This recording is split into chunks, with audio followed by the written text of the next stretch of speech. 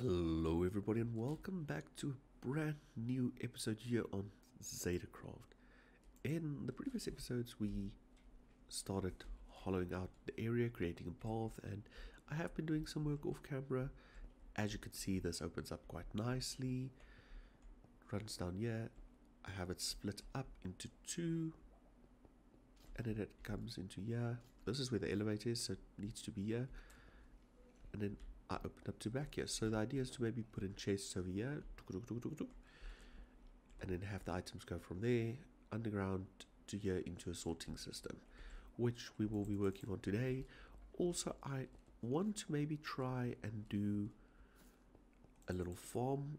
I think a creeper farm because I need gunpowder. Because you see, between episodes, I went to the and just got myself a pair of wings because it was time. So let me quickly show you over here. This is the path. This I will still do a bit better. I'm currently busy with it, starting with it. This is the staircase and just just the design I came up with. Again, not done. I need to texturize it all.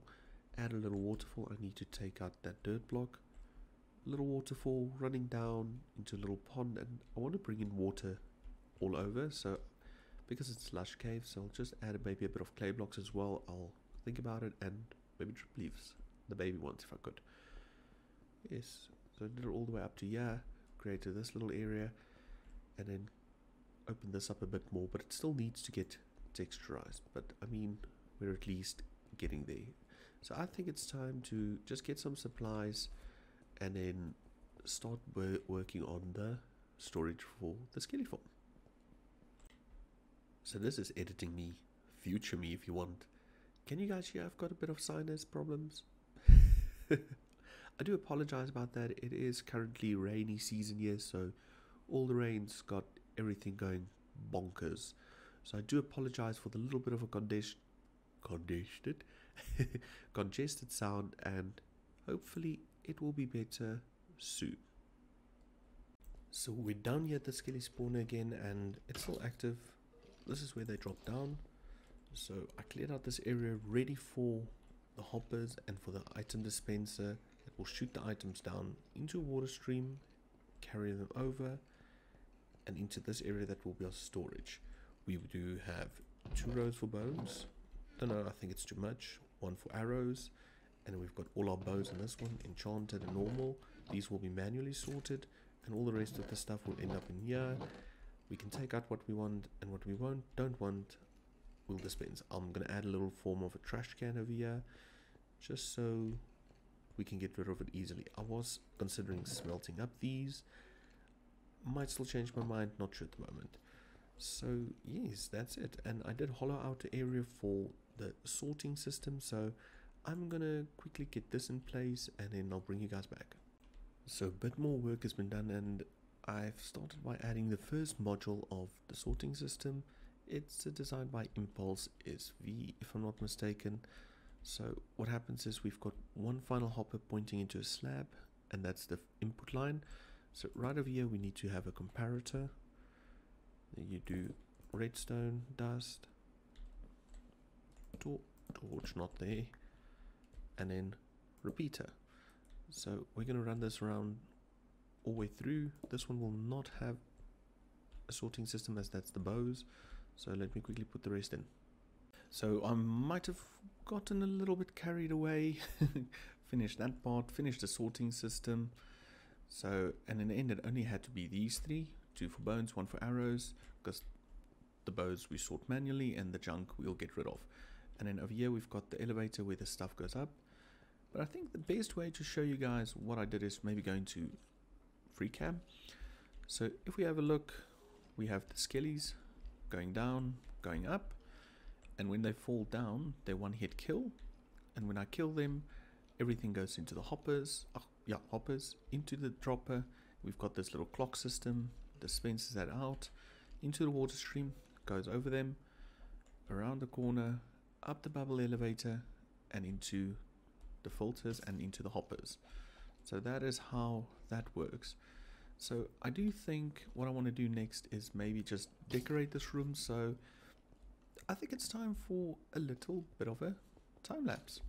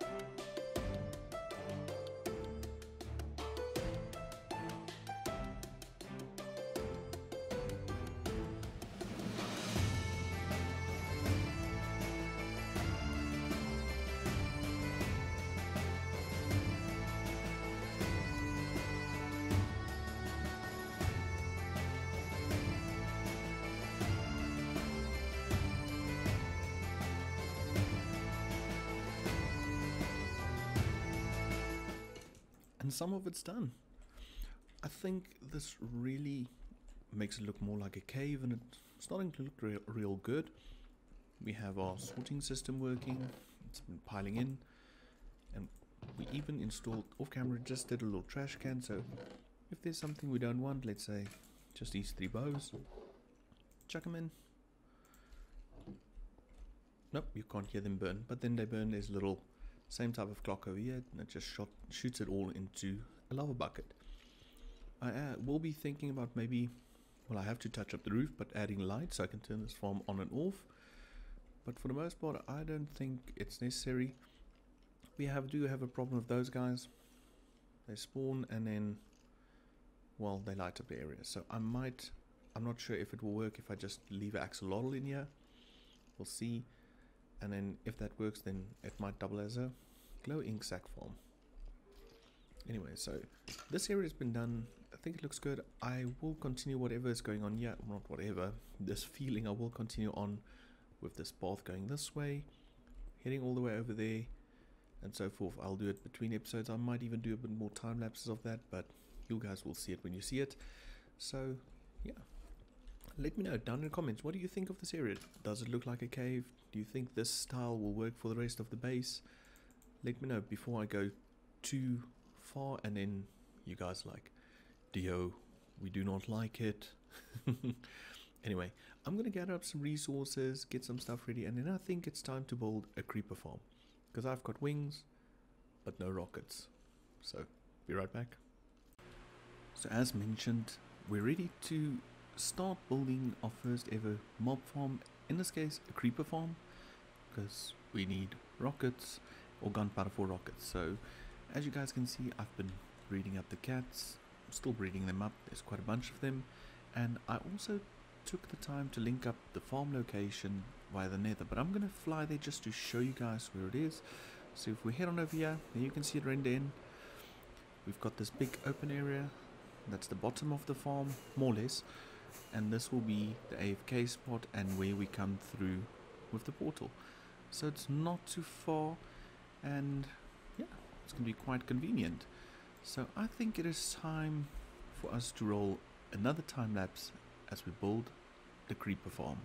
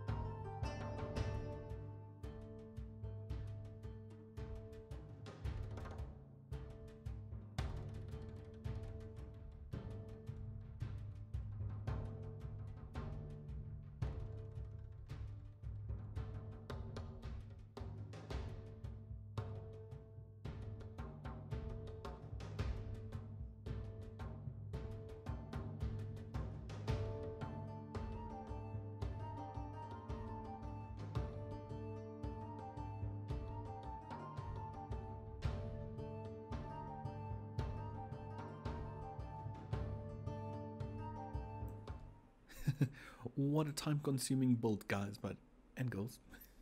but it's all complete. This design is a form by Chapman. I will link his video down in the description.